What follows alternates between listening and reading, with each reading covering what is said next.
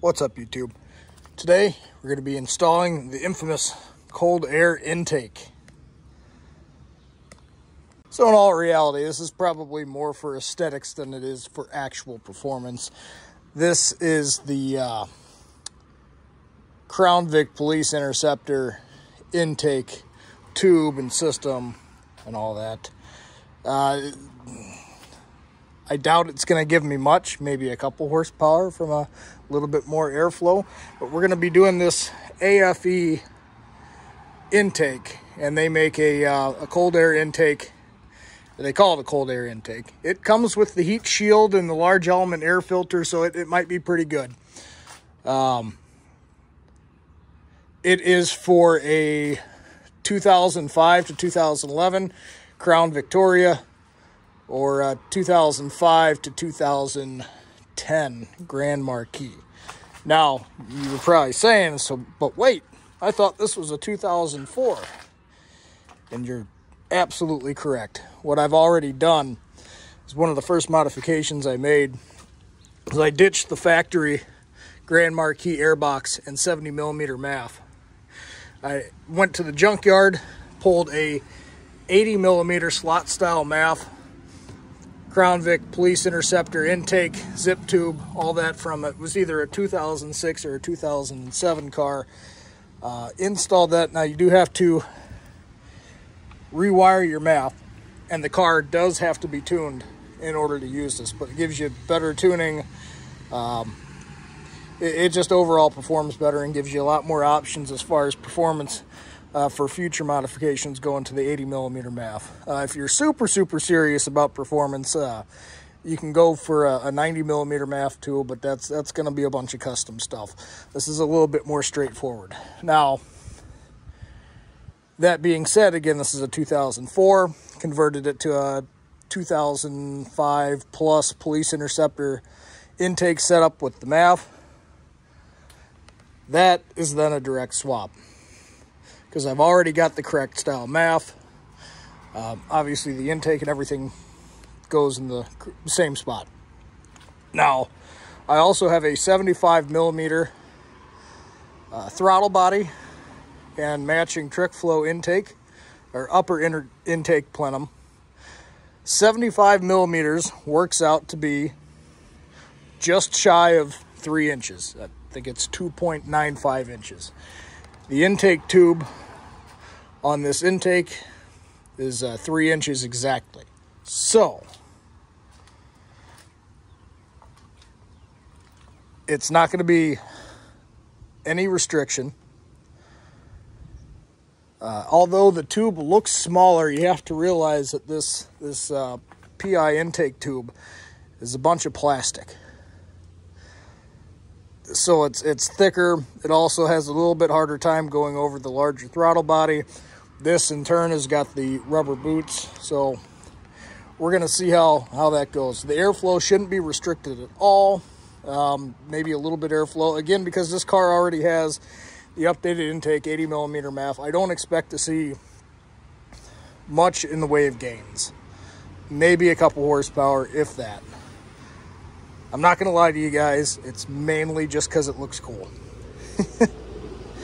um, moving forward, uh, I do plan on doing a set of uh, custom cab cams from uh, Apocalypse Performance, Todd Warren custom grind cams. Uh, that's going to be, you know, I'll give him the specs of the car and he'll spec out the cams to what I'm looking for in order to just kind of max out my current setup who knows what I'll do for performance in the future. I'll probably want to stay NA rather than going with boost, maybe a trick flow top end, but that's a ways down the road. So with that, let's get started tearing this apart.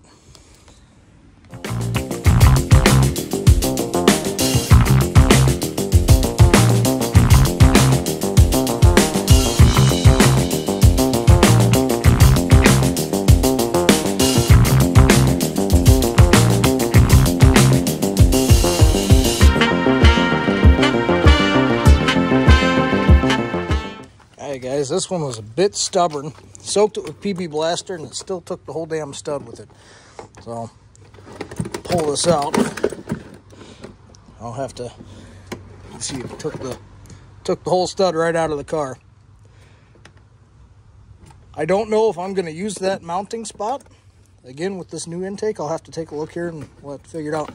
But everything just pulls out. There's nothing trick or special about pulling the intakes out of these cars.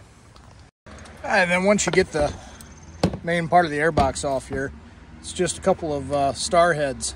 Take the mass airflow sensor out of the housing here.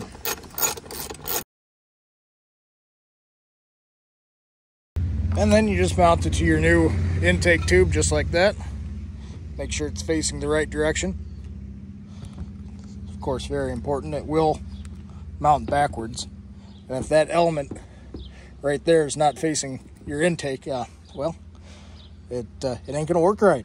What I am gonna do is, uh, before I put this back on the car, is I'm gonna hit this with a little bit of this mass airflow sensor cleaner. Uh, if you're running an oil filtered, oil, oiled filter, let's try saying that five times fast. An oiled filter like I was, uh, the drop-in K&N intake, and then this uh, AFE filter is also going to be oiled. Um, you want to do that periodically because that oil will get on the uh, the mass airflow sensor and uh, your, your readings won't be as accurate. So just as simple as hitting that with some of this cleaner. Make sure it gets in there, gets in the element, and have to take care of that. That'll dry in a couple of seconds. You put it on the car. All right, guys, here's the entire kit. Got your large oiled element filter, intake tube, the heat shield. Uh, it comes with a grommet that should fit against your hood for the heat shield. Um, and your assorted connections. And that just, everything bolts with factory mounts and all that. So let's uh, see if we can get her put in. I gotta go find my channel locks and see if I can get this uh, this out of there because it does. See that hole right there at the bottom? It does use that that bolt also. So see if I can get that out. Hi guys, well I did not find my channel locks, so that bolt is is just gonna live there now that's its that's its home. Uh, what I did find in my vast repertoire of automotive related things that I've taken apart and lost and found and is this bolt seems to have the uh, the same style thread pattern. I tried it just now. It seems to thread in just fine. So I hit it with some uh, rust reformer that I had lying around to make sure it doesn't rust and looks halfway decent. It's black. So uh, we're just going to use that. Hopefully it threads all the way in. We'll, uh, we'll see.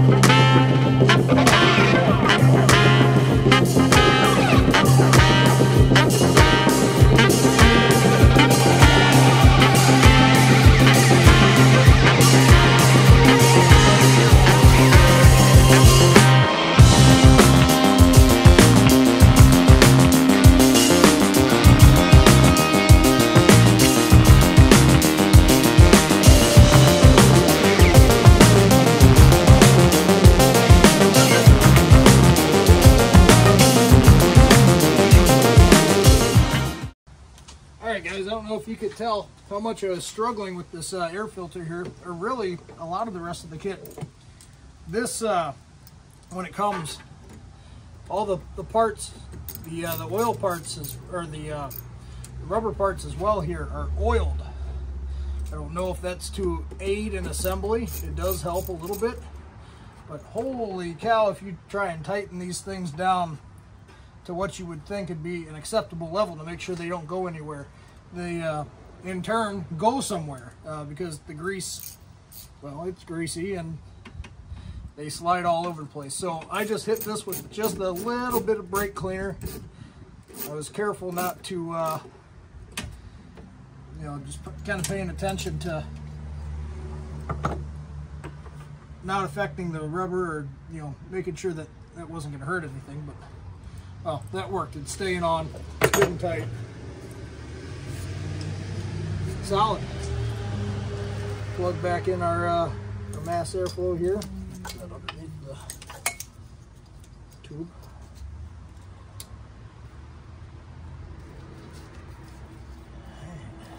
Just plug back in. Tuck that in a little bit here and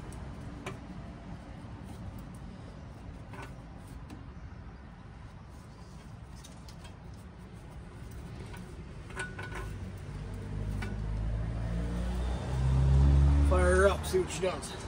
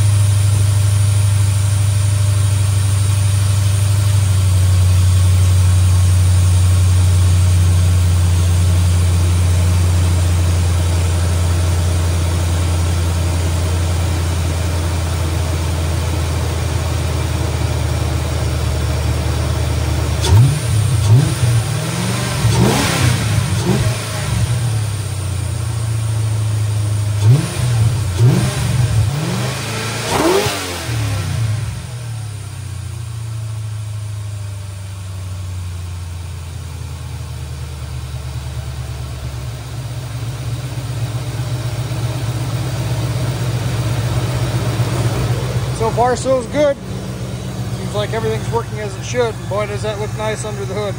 Again, I don't think I'm going to gain anything from this, except for that cool factor. There you have it, guys. So that's a cold air install for your Panther platform car.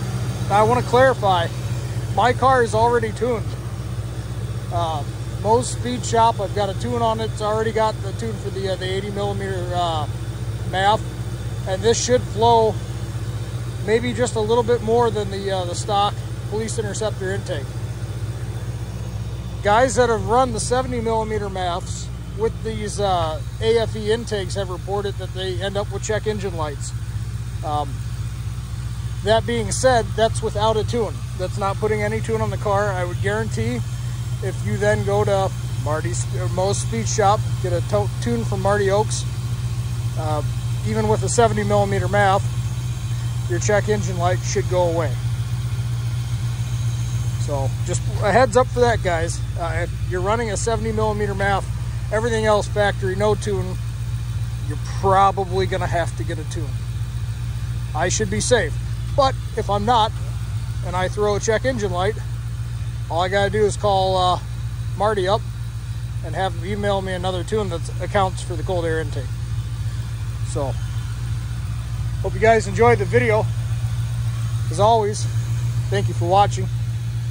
Uh, please like, comment, subscribe.